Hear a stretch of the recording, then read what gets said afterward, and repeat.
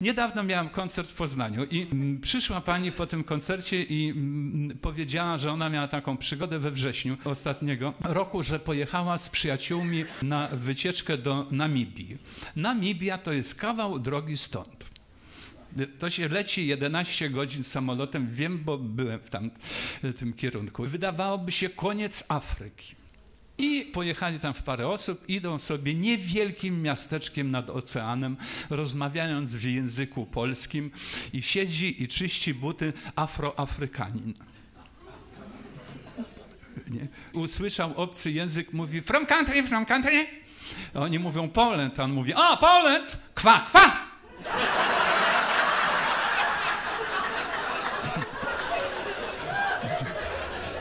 Słuchajcie, ja bym się nie zdziwił, gdyby to Bułgar zrobił.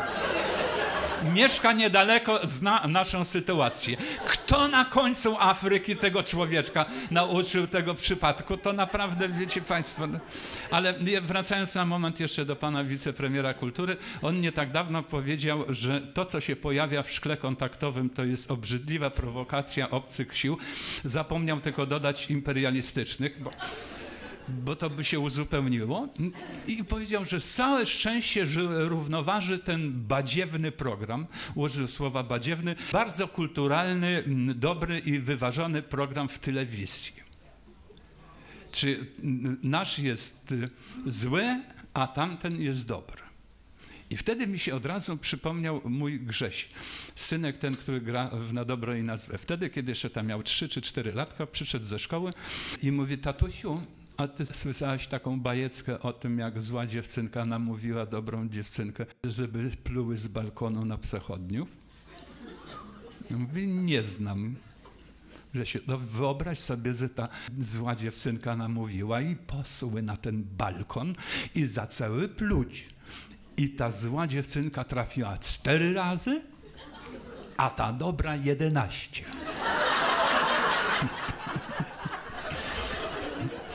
I on mówi, a wie statusiu dlaczego? Ja mówię, nie wiem, bo dobro zawsze zwycięży.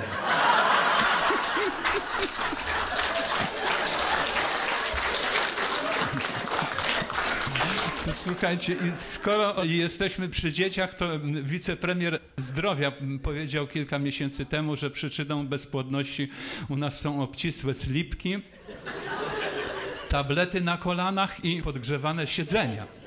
Ale tablety na kolanach szkodzą. Wiecie Państwo, przecież nie ma nikogo w tej chwili, kto by nie miał tego iPhone'a czy smartfona czy coś. Ja w tymże Poznaniu zapytałem, czy ktoś z Państwa może nie ma telefonu. Jedna pani podniosła rękę. Mówię, no to gratuluję. Ona mówi, nie ma czego, przedwczoraj zgubiłam. I... A to było w Poznaniu, no to podwójna strata. I... Słuchajcie, ja zresztą byłem świadkiem użycia telefonu komórkowego w tak kuriozalnej sytuacji, że coś nieprawdopodobnego. To było tutaj w domu handlowym Cliff. Przed Bożym Narodzeniem robiłem jakieś zakupy, wszedłem do męskiej toalety, widzę, stoi facet oparty o ścianę, jedną ręką sika, drugą rozmawia przez telefon. I, I, to mnie rozśmieszyło. Zacząłem się śmiać patrząc na to. On mówi, z czego się pan śmieje? Ja mówię, wie pan, bo ja mam nadwyobraźnię.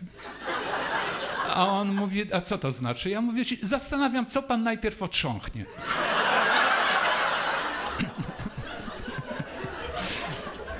Całe szczęście, że miał poczucie humoru i sam się zaczął śmiać. No ale, ale wiecie Państwo, tu pasuje jak znalazł przy tym wszystkim żart, który usłyszałem parę dni temu. To nawet może nie jest żart, bo to się mogło tak wydarzyć. Otóż Taki szpaner kupił najnowszy model iPhone'a, ale taki, że co to pozłacany, brylanciki, to po prostu odjechał wszystkie możliwe pieniądze i tak chodzi se po mieście i szpanuje, wszystkich wkurza, tak głośno mówi, żeby słyszeli wszyscy, przez co on rozmawia i w którymś momencie ręka mu się od tego trzymania zmęczyła i włożył w tylną kieszeń, ale też brylancikami takimi, żeby wszyscy widzieli, co on ma.